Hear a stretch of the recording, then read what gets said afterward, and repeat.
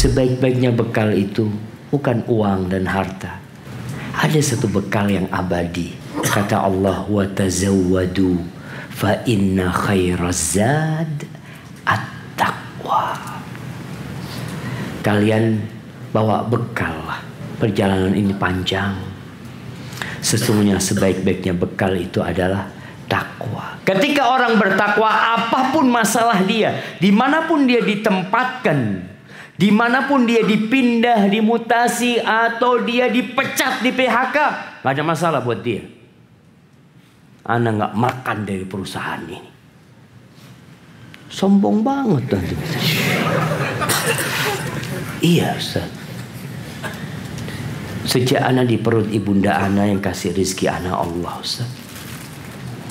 Ana tidak akan mati sampai rizki Ana selesai.